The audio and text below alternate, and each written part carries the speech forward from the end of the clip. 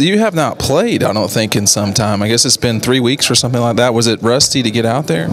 Um, I wouldn't say that just because I don't want to have any excuses or anything. But I'm not suggesting. Yeah, yeah. I'm just asking. Um, I mean, it was more kind of excitement just to kind of get back out there um, and, and being able to contribute on the field. Um, so that's more of kind of my mindset was just let's just go out here and get a win and get back in the winning column. Uh, Brice punts, Faton plays safety, and you play quarterback and.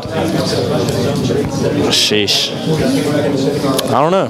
You know, I'm just a one-trick pony, I guess. I don't have I don't have a lot of other stuff. What's the difference, Greyson, from winning and losing? The locker room, etc. How what Athens is like, blah blah blah. Winning, there's a lot of energy. Uh, you know, guys are obviously happy. Um, losing, there's a lot more kind of focus on, you know, what can we do in order to uh, not feel this again. And whenever we win, we want to figure out what can we do to make sure we keep feeling this way.